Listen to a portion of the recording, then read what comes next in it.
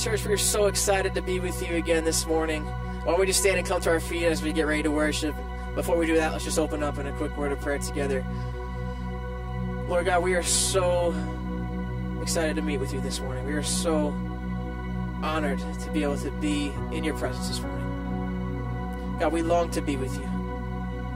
God, right, right now, I pray for a new and fresh encounter with you this morning, whether it's our first time, our second time, whatever it be, Jesus, that you would encounter us in a new way, encounter each and every heart on the other side of this screen. Whether we just clicked on it for the first time ever, or we're just stumbling upon it, God, that you would encounter us right here, right now this morning. So, God, we love you and we give you all the glory this morning. In Jesus' name we pray. Amen. Church, I encourage you, let's go hard this morning. Let's go all in and give him everything that you have.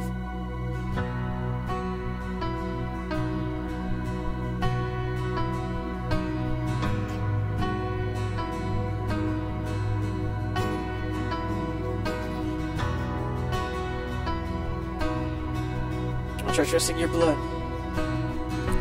Your blood is healing every wound. Your blood is making all things new. Your blood speaks a better word. Come on, church, you believe that? Come on, let's sing it out. Your measure of my worth, your blood,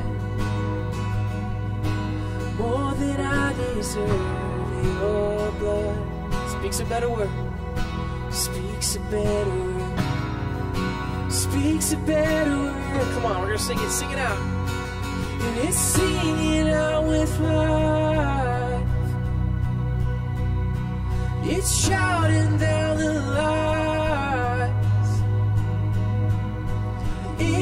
echoes through the night. The precious blood of Christ speaks a better word. Yes, you do. Speaks a better word. Come on, sing your blood. Your blood, robe of righteousness. Your blood, my hope, my hope in my defense. Your blood, forever, forever covers me. Oh, forever covers me, yeah. Sing it out. And it's singing out with my oh, It's shouting down the lines. Yes, Jesus. It echoes through the night. The precious blood of Christ speaks a better word. Speaks a better word. It's calling out my. It's calling out my name. Right now, He's calling you up. And it's breaking every chain. Making all things right. It's making all things right. The precious blood of Christ speaks a better word. Speaks a better word. Yes, it does. Yes, it does. Speak a better word. I believe He's speaking a better word right now. Over our island, over our city, over our circumstances, over your families. I believe He's speaking that over our lives. Make it personal this morning. He's speaking a better word over the addiction, speaking a better word over the poverty, over the, our, our economy.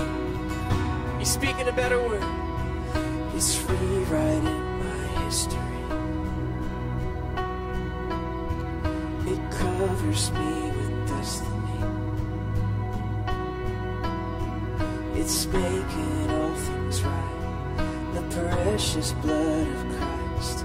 It's rewriting my history. Yeah, yeah.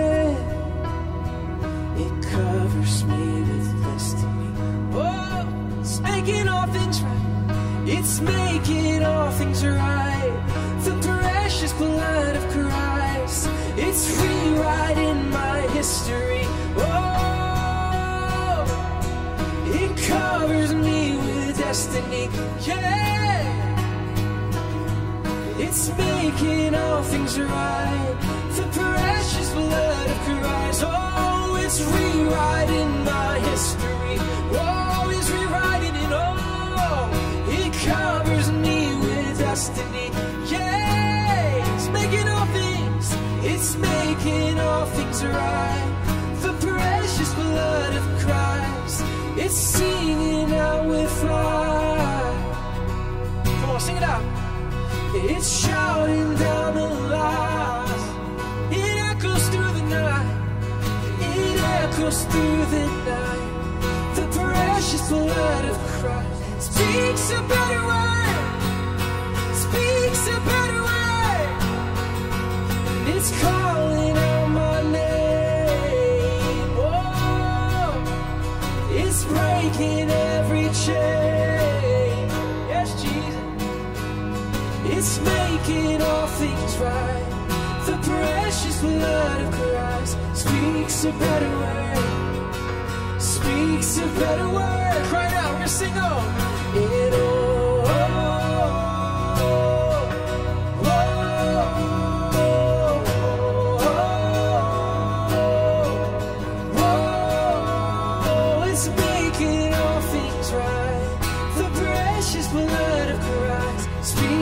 But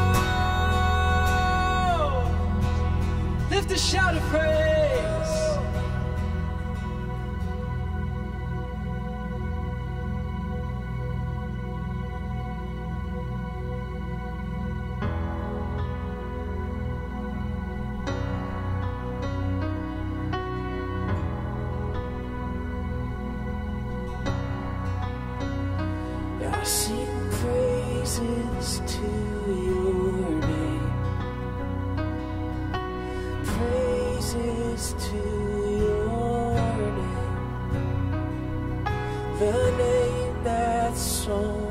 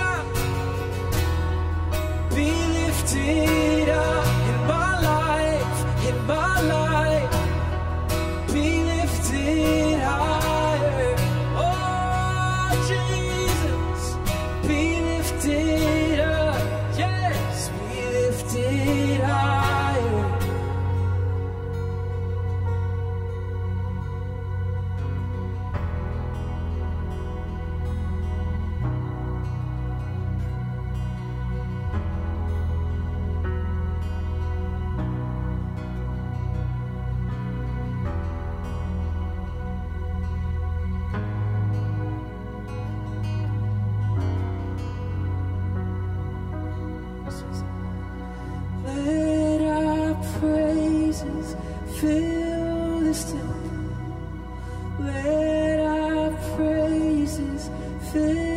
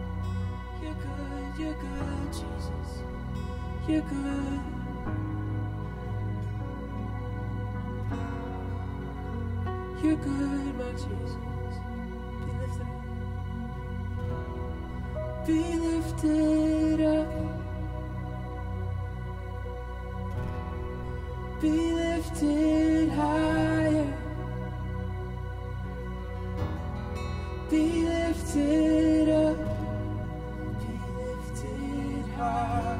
One last time, wherever you are, lift his name. Be lifted up, my Jesus. Be lifted high.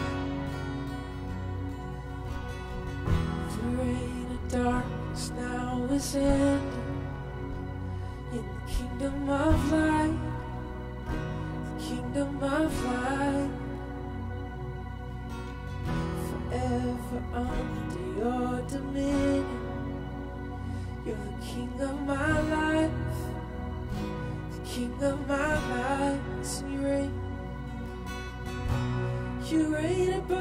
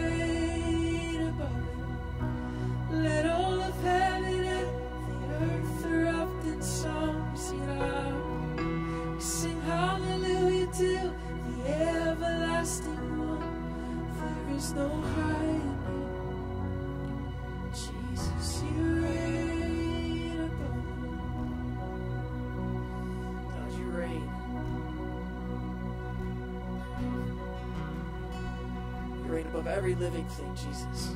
All things.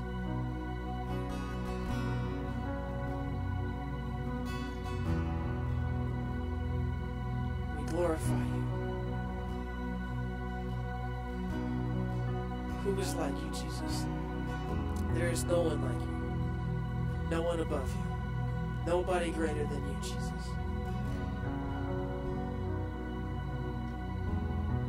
God, we thank you for who you are, for your love, for your power, Jesus.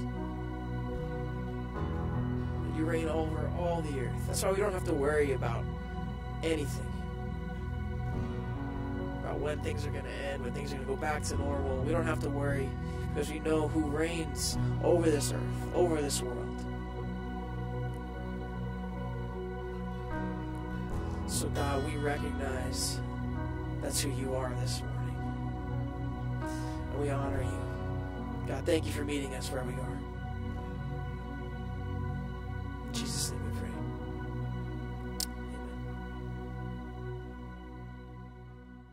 Well, good morning, church family. We're so excited that you joined us today. Why don't you go ahead and in the comment section below say good morning, say hello to someone that's tuning in with you. And while you're at it, why don't you just click the share button, tag a friend, and let's spread the gospel to as many people as possible. I love this part where we just get to talk to one another. So go ahead, say good morning, say hello to someone.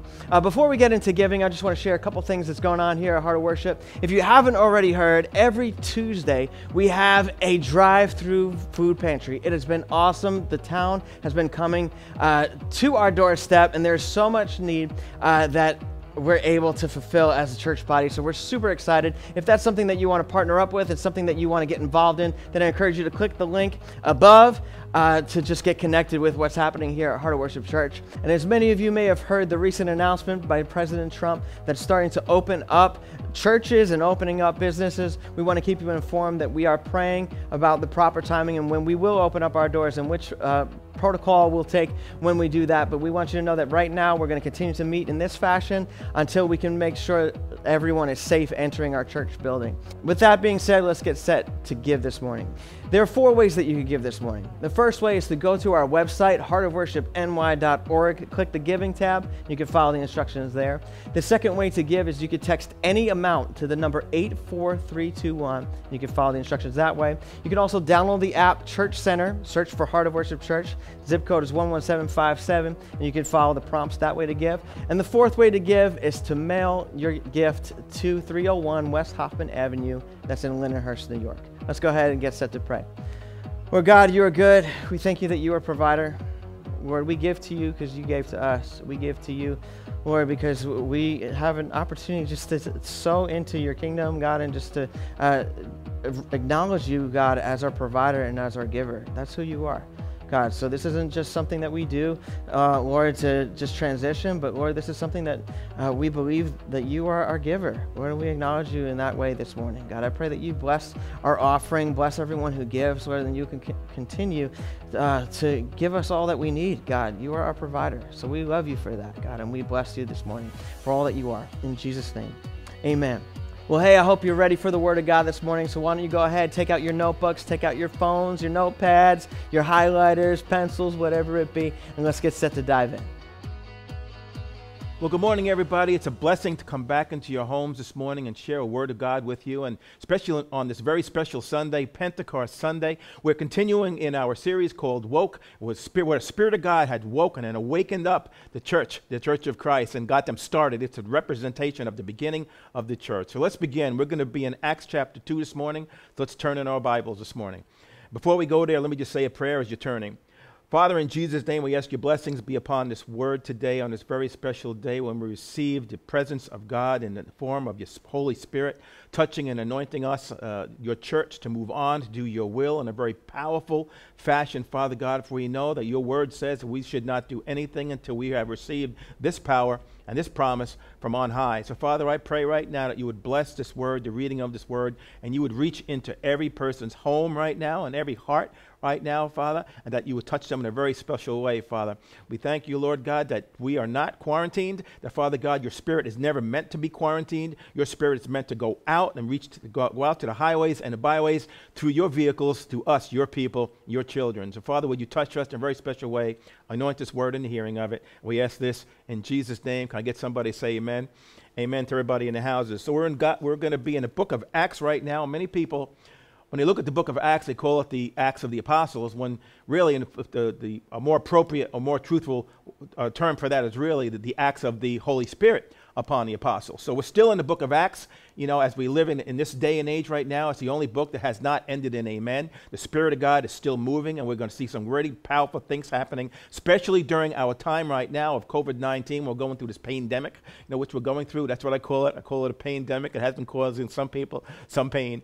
But um, with the, the time that we're in, we need the Holy Ghost even more so. So some of the questions I'm going to ask today is what does Pentecost mean to you today?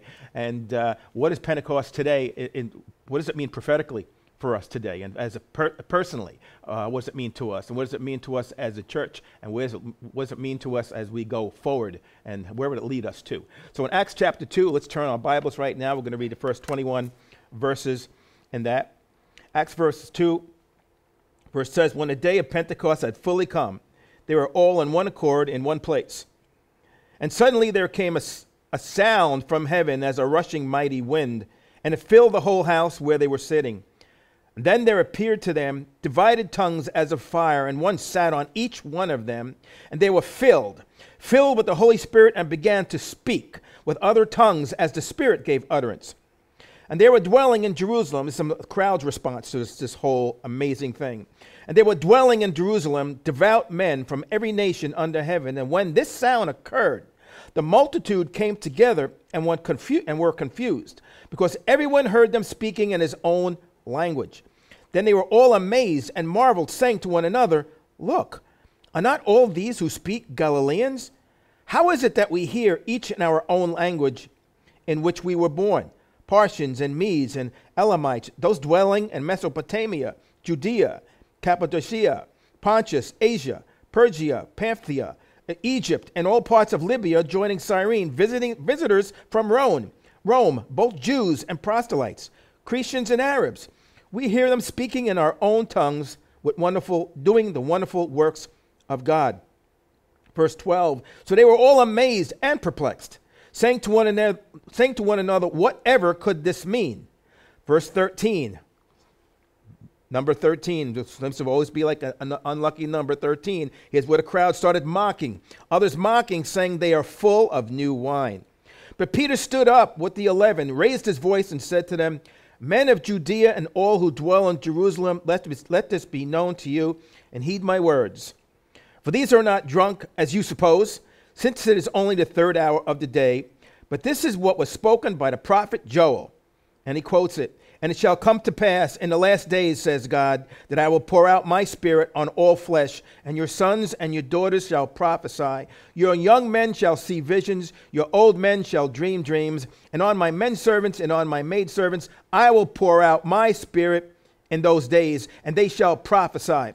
And I will show wonders in heaven and above, and signs in the earth beneath blood and fire, and vapor of smoke. The sun shall be turned into darkness, and the moon into blood, before the coming of the great and awesome day of the Lord. And it shall come to pass, verse 21, and it shall come to pass that whoever calls upon the name of the Lord shall be saved. Somebody say amen powerful word of God there coming in, a, in, the book of Acts. As many of you know, the, the, birth of the church came on the day of Pentecost here. It's, it's known as the birth of the church when the power of God, the Spirit of God, came as a rushing mighty wind into a crowd of believers in Christ. And he came, the power of God came so great, it was like a, a was like a hurricane came, all to those who were believers in Christ, those who were in one mind, they were in one accord, they were unified. And in their, uni- in, in their unity, they're doing the will of God by worshiping and praising God. And while they're doing that, Spirit of God comes and touches them in a very special way. This day, this Pentecost, this day of Pentecost is the birth of the church. It's the baptism of the Holy Ghost. You know, in the Old Testament, Pentecost in the Old Testament was when the giving of the law, when God had the people moving through, living in tents, moving through the, the Sinai wilderness before He gave them the law. So it was a celebration, celebration of that. But it used to be uh, in the Old Testament, it was Pentecost was known as the giving of the law. But now, as we know, Pentecost in the New Testament is the giving of the baptism of the Holy Spirit. And all these things were, prophet- were prophetic. These things were prophesied before they would even come. Because Jesus, Jesus even told his apostles, do not do anything until you receive the promise from the Father. Jesus even prophesied about this, and he said to even to Peter and to all who were listening, when, when Jesus asked all the disciples there, Who the men say that I am, and then who do you say that I am? And Peter was the one that responded and said, You are the Christ, you are the Son of the living God. And then Jesus said to Peter, prophetically, what is going to happen in the day of Pentecost, he said to him, So Peter, blessed are you, Cephas. Cephas, you are my rock, blessed are you, because man has not given this unto you, but my power which is in, which is in heaven, but the Spirit of God which is in heaven made this revealed to you. And upon this word I will build my church. So it already came prophetically, and even Acts chapter 1, verse 8 says this But you shall receive power when the Holy Spirit has come upon you, and you shall be my witnesses in Jerusalem, in all of Judea and Samaria, and to the ends of the, wor- of the earth. In Pentecost, the church was awakened. In Pentecost, the church was woke. I know it seems like a silly word, a silly slang word, with, with you won't, probably don't think you'd find the, this type of definition in Webster's dictionary. But woke, woke people are saying now, using that word, are you woke? I'm woke. So where are you? Where are you? Where does this, where does this, uh, where does Pentecost begin with us today? Where are we today with Pentecost? Where are we today prophetically in this particular moment? And where are we today in Pentecost personally as a church, and where is it going to lead us to? So, before I can even answer those questions, and this particular sermon is going to answer those questions, I want to lay a little bit of, of, a foundation on Pentecost for those who don't know too much about Pentecost. Maybe you haven't heard about that before. I know that it's a feast, but uh, Pentecost in Greek means 50, or also called the counting of the days. The counting of the days. It's also known in the Old Testament, in the book of Deuteronomy, verses 16, it's also called the Feast of weeks. So Pentecost is the counting of the days and the feast of the weeks. So the Israelites were called to just to, to, count the days of the week for one week, and then the second week do the same thing, count the days in that week, do it for the third week, do it for fourth week, and so on until the seventh week. So seven weeks times seven days is 49 days. And on the 50th day, because Penteco- Pentecost also means 50, counting of the days. So on the, on the 50th day, they would cel- do a celebration. Now we see now in Pentecost is usually celebrated 50 days right after right after Passover begins. Now, God had established, as part of this foundation, I want to lay to you, is God had established several feasts, many feasts for the Jewish people to, um, to assemble in Jerusalem and for them to celebrate them. And He established these feasts over two different harvest seasons over the harvest season of spring and over the harvest season of of fall. So there were four seasons, there were four feasts during the, during the spring season, which were Passover, which immediately was followed. That was the Feast of Unleavened Bread. And then after that was the Feast of First Fruits. Then immediately after that was Pentecost. So those four seasons, those four feasts were the feasts over the spring, over the spring, um, harvest. Then there were three feasts in the fall. Very first one being Rosh Hashanah, was also called the Feast of the, of the Trumpets, where uh, the Jews celebrate that as their new year. Followed by 10, year, 10 days later, 10 days later was Yom Kippur, was their Day of Atonement. And then five days later came the Feast of Tabernacles here. But there were three main feasts, three main feasts for all of the nation of Israel, which was to stop working and they were to go to Jerusalem and celebrate these feasts.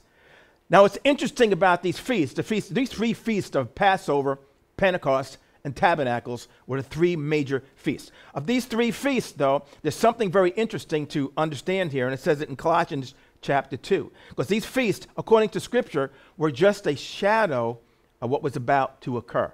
They were just a shadow of something that was about to happen. They were just a shadow of something more powerful that was gonna, going to be realized. And it says this in Scripture in Colossians 2, verses 16 to 17. It says this Let no man therefore judge you in meat or in drink, or in any holy day, or of a new moon, or on a Sabbath day, which are a shadow of things to come. But the body is of Christ. See, these feasts were celebrated as a shadow of something that was about to happen. It's as if I was standing face, I was facing the sun, and behind, right behind me was cast my shadow. Now, the shadow was not the real me. I am the real me, but the shadow was just a reflection of me. So it is with the feast that the feasts are just a reflection of the real thing, and it's the real thing is Christ. Christ the Messiah. So as we stand here today, we'll the things that we're, we're celebrating, the things we're seeing in Pentecost, the things we're seeing during Passover, Tabernacles, and all the feasts, they're just a shadow of something great that is about to occur, which is Christ the Messiah. So, so another special thing about these three feasts, where many young people, it says according to Deuteronomy 16 and Exodus 23, many young men, 20 years of age and older, they were to stop all work. They were to stop all work, leave their farming, their farms, and go to Jerusalem and celebrate these three feasts. These three major feasts Passover, Pentecost, and Tabernacles. And one thing I want to share with you is the three things, what these things mean. The theme of these. The theme of Passover is a sacrificial lamb given for salvation. So the theme of Passover is salvation. The theme of Pentecost, although in the Old Testament it was about the law, the theme of Pentecost is the baptism of the Holy Spirit. And the theme of the Feast of Tabernacles is a theme, the theme behind that is resurrection or homecoming. And if I could share a little bit more of this uh, about tabernacles, we can understand that because we hear a lot about Passover. We hear a lot, some things about, about Pentecost. But what is tabernacles? Tabernacles was a feast where the Jews were to celebrate and remember the days when they were in Sinai living in tents. And they were looking forward, say that, they were looking forward to when God would tabernacle with his people again, when he would ha- have a homecoming with his people again. Somebody say hallelujah to that. So it's just a shadow here where the Passover represented salvation, Pentecost represented baptism of the Holy Spirit, and tabernacles, the theme behind that was homecoming and, re- and resurrection. So, th- the, so these young men, young men over 20 years of age, were required to go, to look forward to these things. And they were to go and celebrate, stop work, celebrate these, these, three, these three major feasts. And out of these feasts, they were to diligently seek God, diligently pray to God, and look forward to the things that God was about to do personally in their lives and at the nation of Israel. So men were to stop all these things. Why were these young men, why were all these young people required to go there? What would be the reason for that? What would be the reason that young, young men over 20 years of age would have to go to Jerusalem, stop all work? And the reason is simple, is simply is this because no one can do it for you. You have to do it yourself. Nobody. It's a personal decision, a personal decision to go and to diligently seek God during these seasons and ask what he requires of them and what he wants them to do for him. So it's, it's no one can do it for you. Nobody can get salvation for you. Nobody can, can, can receive the baptism of the Holy Ghost for you. Nobody can be resurrected in your place. It's a personal decision. It's a personal decision which you have to do for yourself.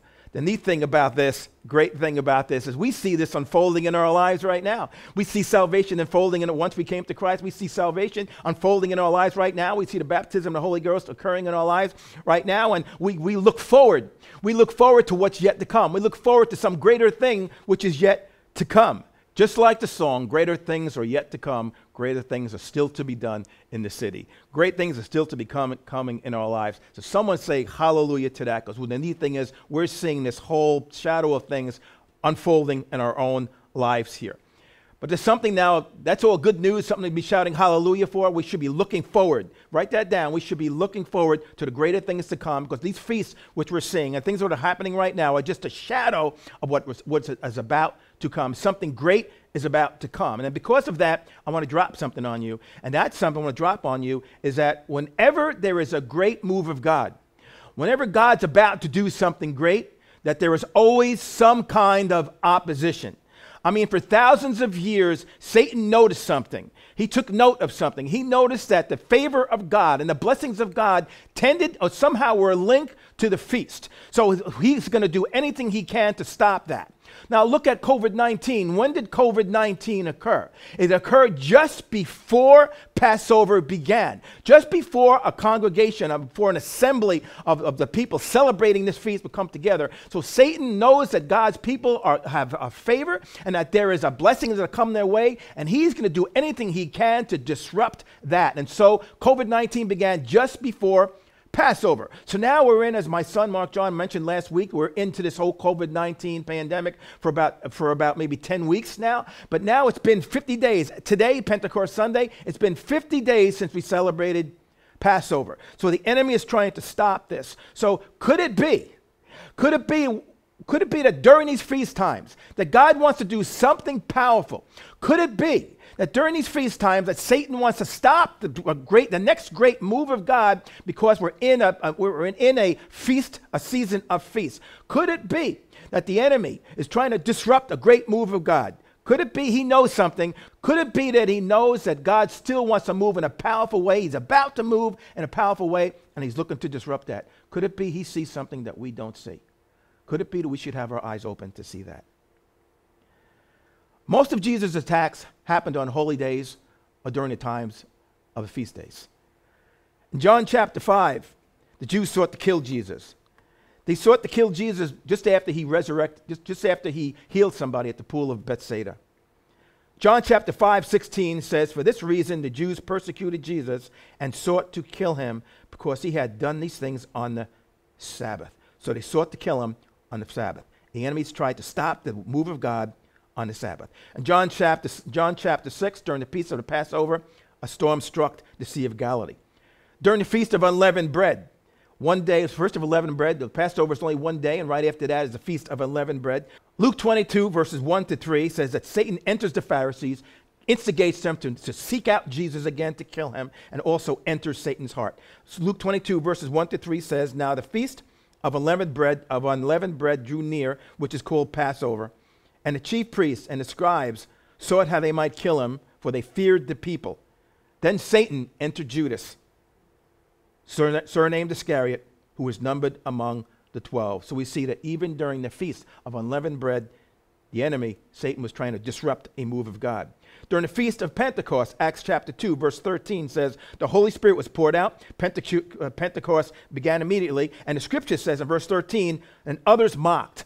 So immediately there was a mocking there was a crowd that started to see, uh, see as if and, and surmise that maybe these people are drunk. How are they doing this? So verse 13 says, Others mocked, saying, They are full of new wine. So persecution began immediately after the baptism of the Holy Spirit came. And in Acts chapter 20, it talks about Paul being arrested to, uh, at the piece of, uh, around the time of uh, the feast of, of Pentecost, being arrested. Feast of Tabernacles in John chapter 7, verse 11 says, when Jesus, when Jesus, Jesus went to the Feast of Tabernacles, secretly, but his brothers, his blood brothers, went there ahead of him, and they were following the brothers. The Pharisees were following the brothers to see what Jesus was. And, and John chapter 7, verse 11 says, Then the Jews sought him at the feast, saying, Where is he? So again, with all these type of these these these uh, again these few scriptures that I'm showing you show how Satan's plan all along was to attack Christ and the church during the time of these feast days. So why? Why are these feast days a target? Well, first of all, the young people would come together. All young people, all young men over the age of, age of 20 were called to go into Jerusalem. Satan is always after the next generation. Satan wants to stop the next generation from this move of God to the future moves of stopping any future moves of God. We see that King Nebuchadnezzar, when he abducted many Jewish boys, took the, he took the wisest ones, Daniel being one of them, and he tried to convert them. He tried to deceive them. He tried to convert them into the ways of magicians, unto the ways of the Chaldeans. So the enemy is like that when it comes to, he wants to attack the next generation, the generation that to, to stifle them, to deceive them, to rebel, rebel from God. The second thing were the crowds. Crowds would always flock to Jerusalem during the time of the feast days.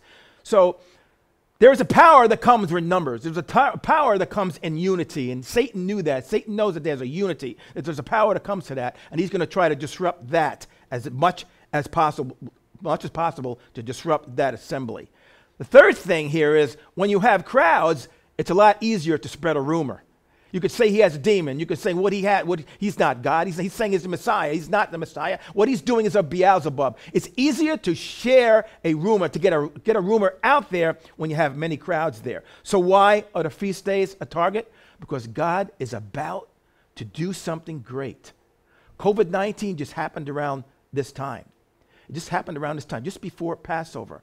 So we should have our eyes looking forward on what God is about to do.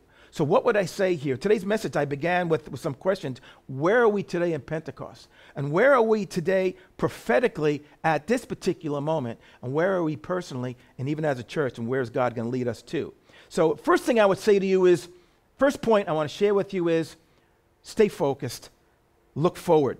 For they're just a shadow of things to come. Just a shadow of things to come. All the feasts, they concluded, they concluded around September.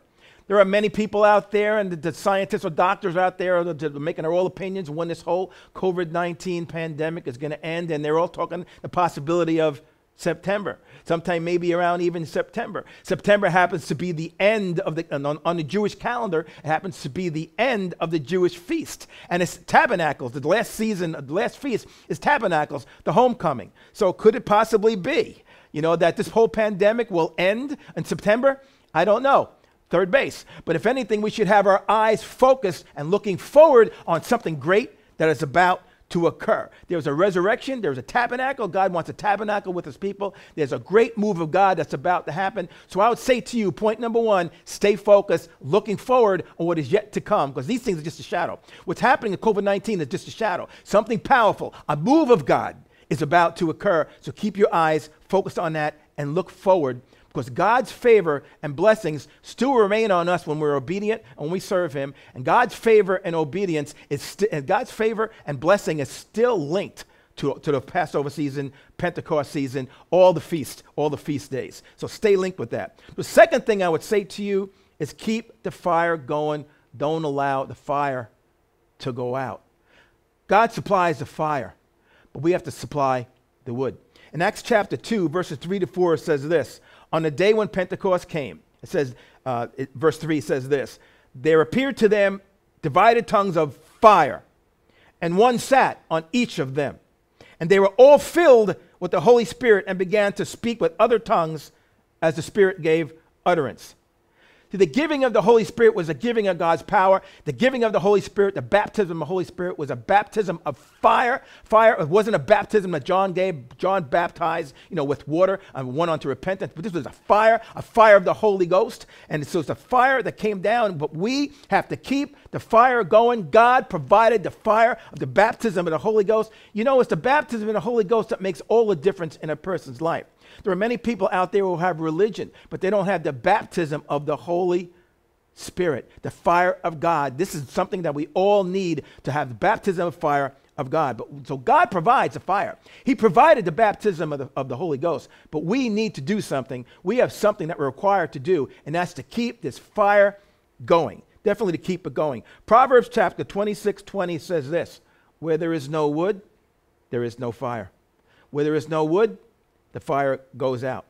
Isn't that kind of profound? I heard Jentezen Franklin sh- share this and this in a, in a, moment, and I just want to share this with you as well. It says it's the fire of God. Where there is no wood, there is, there is no fire.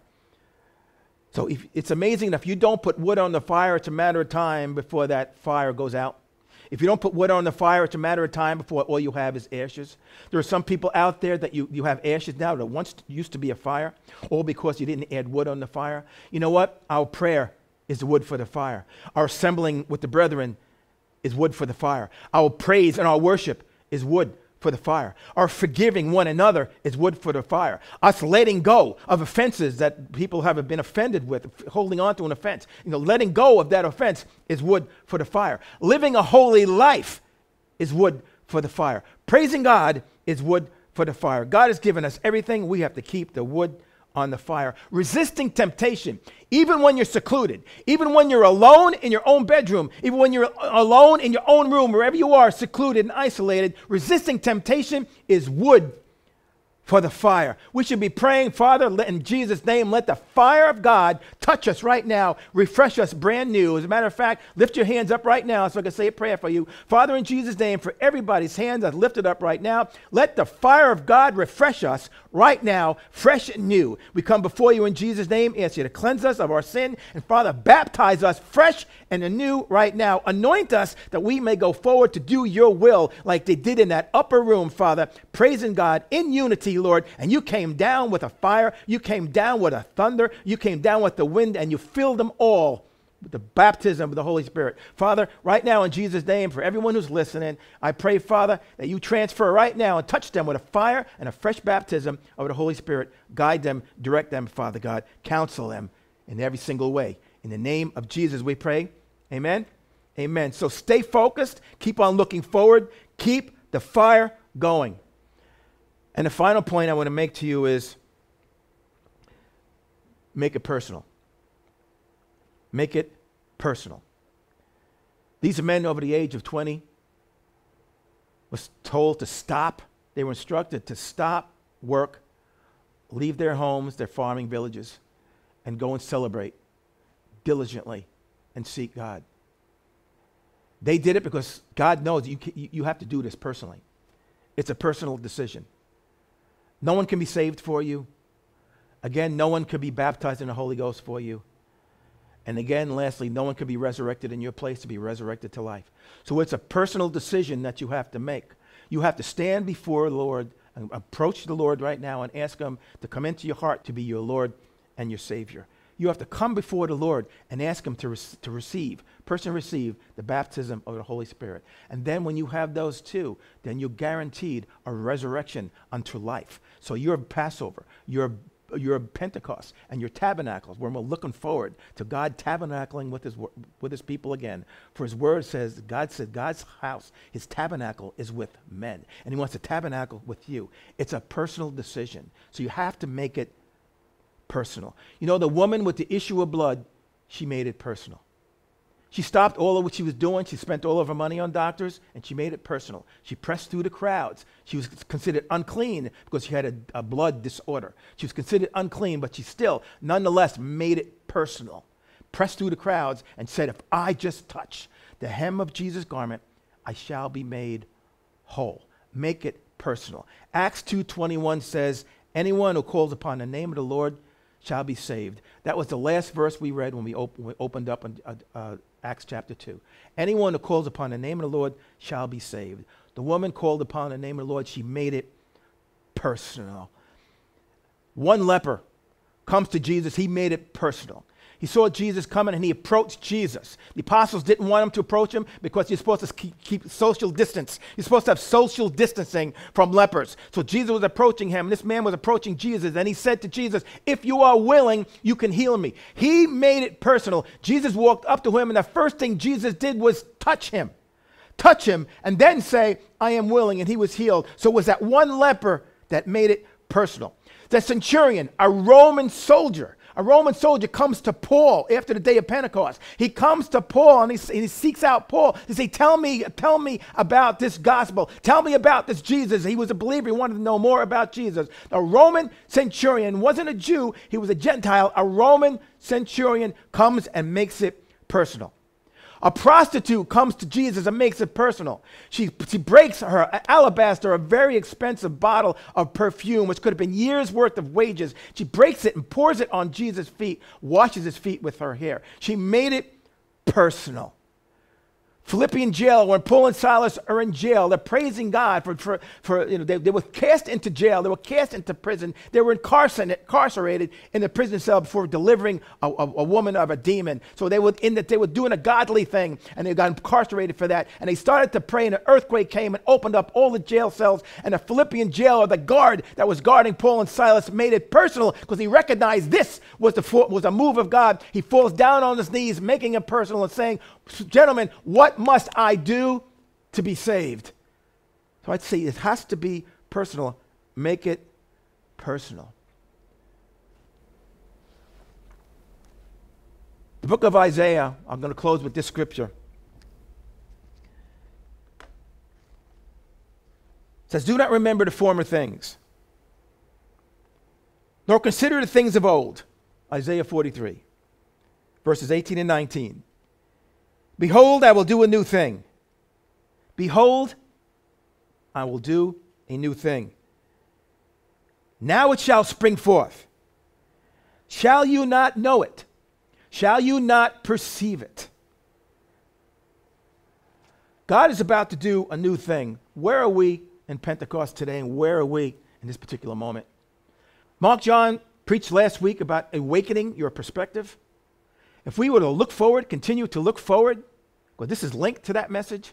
If you would continue to look forward and perceive, the Lord even says, Can you not perceive it? Keeping our eyes looking forward on what God is about to do, looking beyond this pandemic was just a shadow. It's not the real thing.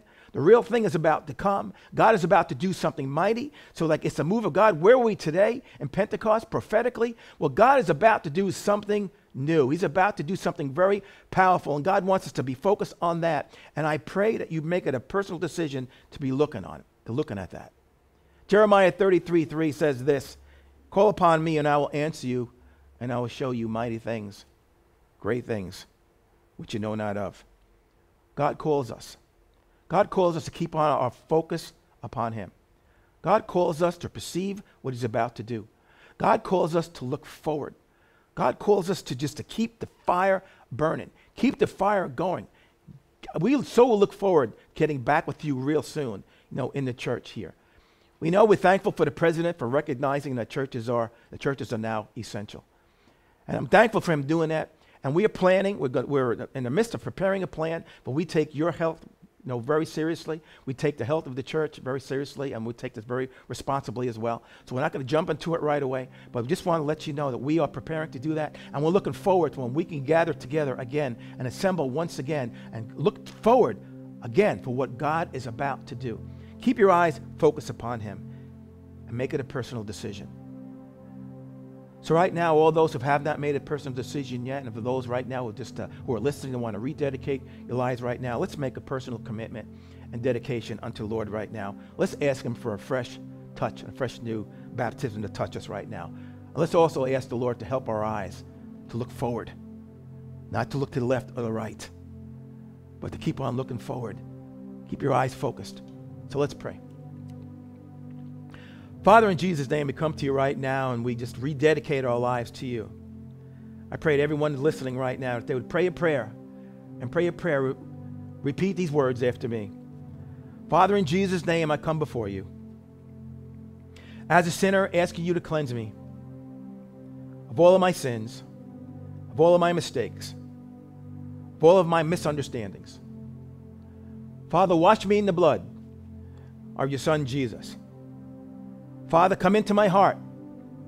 Be my Lord, and be my Savior, Jesus. Guide me and instruct me in all of my ways. Father, I pray for a fresh touch of your baptism of your Holy Spirit. Fill me, Father, with your Spirit right now. As I breathe in the Spirit of the Holy Ghost, you are doing that right now, Father.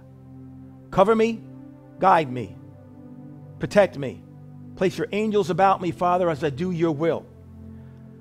Father, I pray for that fresh baptism right now to touch me in Jesus' name. Father, anoint my eyes. Anoint my eyes to always look forward, to not get caught up on what's my trials are going through right now, to not get caught up and focused on all my pain, all my, my troubles, and my suffering. Help me, Lord, anoint my eyes to be looking forward. For everything else is just a shadow of the things to come, but you are the real thing, Father God, Christ. Father, help and anoint our eyes to stay focused upon you, to perceive you in all things, and to look forward for greater things to come and greater things to be done. Father, help us in Jesus' name to keep the fire going. Holy Spirit, touch me. Holy Spirit, quicken me. Holy Spirit, help me to discern when you're speaking and when the enemy is speaking. Help me to discern my schedule, to put down things which are not important, so that I may keep my eyes on you and keep the fire of prayer, the fire of praise, the fire of worship, the fire of assembling with the brethren, and the fire of love and forgiveness and mercy to be a part of my life from this moment forward. And I ask these things in Jesus' name.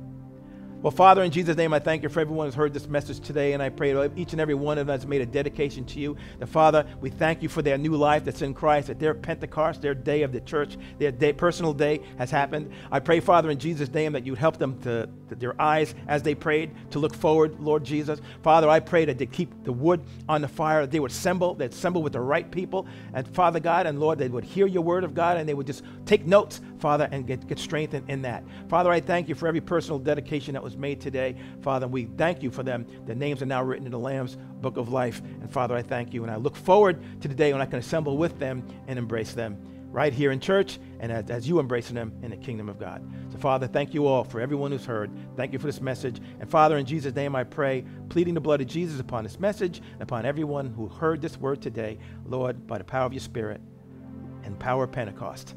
Let tongues of fire fall upon them and uh, as they assemble in your name. Comfort them and guide them this day forward. In Jesus' name, amen. God bless you all.